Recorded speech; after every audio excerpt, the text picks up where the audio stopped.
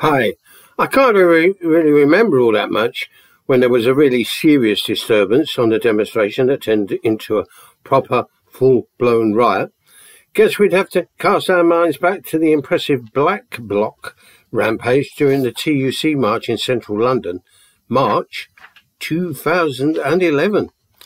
The latest set of huge Palestinian solidarity demonstrations have, in some quarters, caused outrage but there's been a noticeable lack of violence.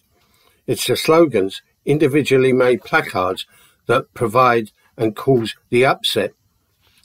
Mind you, reading the newspapers, listening to the conservative commentators of the right wing TV channels, you'd think that rampaging mobs have been burning, looting, clashing violently with the police, creating general mayhem.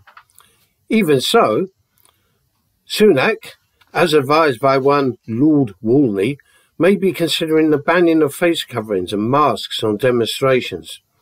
The police already have the power to ask individuals to remove face coverings, so really, if implemented, this would represent an attempt to curb protest and expression and bring in further restrictions and the road to banning protest altogether.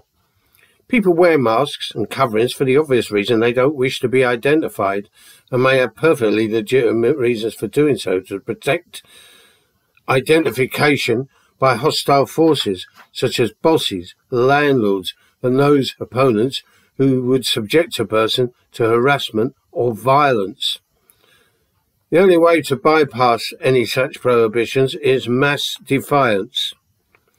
Maybe if everyone wore anti COVID masks, the authorities would be too flummoxed to do anything.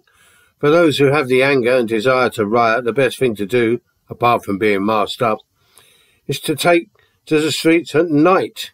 So, in reverse of that old government slogan of the 1960s, don't wear something light at night. The government have long feared any forthcoming civil disturbances, and mask wearing hardly comes into it, really, as do relatively harmless mass demonstrations in central London. Bye.